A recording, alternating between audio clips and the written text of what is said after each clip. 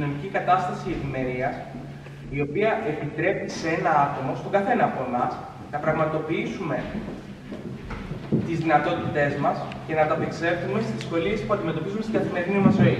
Μας επιτρέπει να κάνουμε πραγματικούς το να εργαζόμαστε, να διασκεδάζουμε, να κάνουμε οικοδομητικέ σχέσεις με άλλους ανθρώπους και να λαμβάνουμε φυσικά και ικανοποίηση από αυτές τις δραστηριότητες.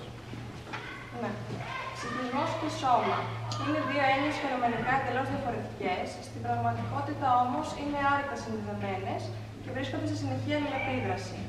Πώς συνδέονται; Μέσα από την επιρροή που ασκεί η μία έννοια στην άλλη. Η ψυχολογική μας δηλαδή κατάσταση μπορεί να επηρεάσει σε μεγάλο βαθμό και αρνητικά τη σωματική μας υγεία και αντίστροφα η σωματική μας υγεία μπορεί να επηρεάσει την ψυχολογική μας κατάσταση. Γενικά υπάρχει μια φυσιολογική σύνδεση ανάμεσα σε όσα σκεφτόμαστε και στα τμήματα του εγκεφάλου που ελέγχουν τις λειτουργίες του σώματος. Ο εγκέφαλος είναι στενά συνδεδεμένος με το ενδοκρινικό μας σύστημα.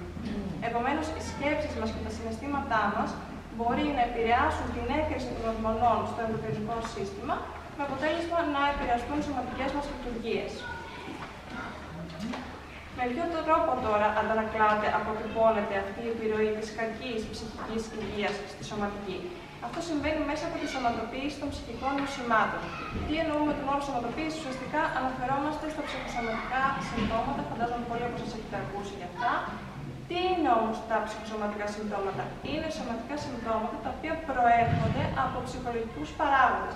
Δεν έχουν δηλαδή κάποια παθολογική αιτία και παθολογική εξήγηση.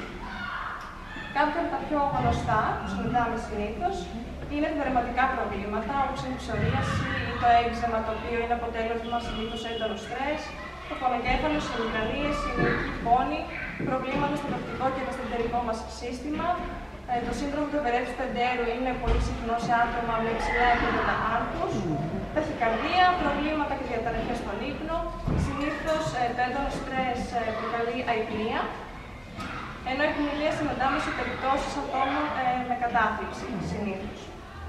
Γενικά, το χρόνιο στρες και η κατάθλιψη έχει παρατηρηθεί ότι αποδυναμώνουν το αμεσοποιητικό μας σύστημα, με αποτέλεσμα ο οργανισμός μας να γίνεται πιο ευάλωτος και επιρρεπής σε ασθένειες και σε φλεγμονέ. Σίγουρα όλοι έχετε ακούσει φράσεις του τύπου αρρώστησε τη στεναχώρια του ή έχει χάσει τον ύπνο του.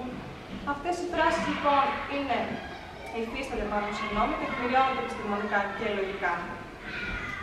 Το μυαλό δηλαδή κατά κάποιο τρόπο μπορεί να καταστρέψει εισαγωγικά το σώμα πολλές φορές. Μπορεί όμως να συμβεί και το αντίστοιχο, δηλαδή η σωματική μας υγεία μπορεί να επηρεάσει την ψυχολογική μας κατάσταση, την ψυχική μας υγεία.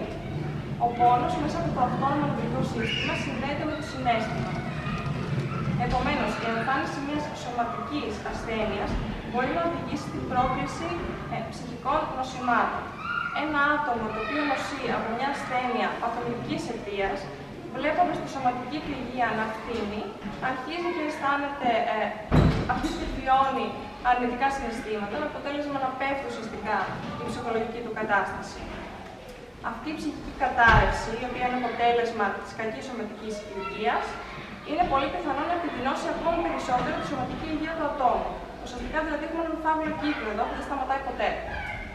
Και να επισημάνουμε επίσης ότι οι ασθενείς με χρόνιες παθήσεις είναι πολύ πιθανό σε μεγάλο ποσοστό να εμφανίσουν κατάθλιψη και αυτοκτονικές τάσεις, καθώς ε, συχνά το μυαλό τους κατακλείζεται από αισθήματα θυμού, θλίψη, απόγνωσης λόγω της κατάστασης στην οποία βρίσκονται. Ωραία.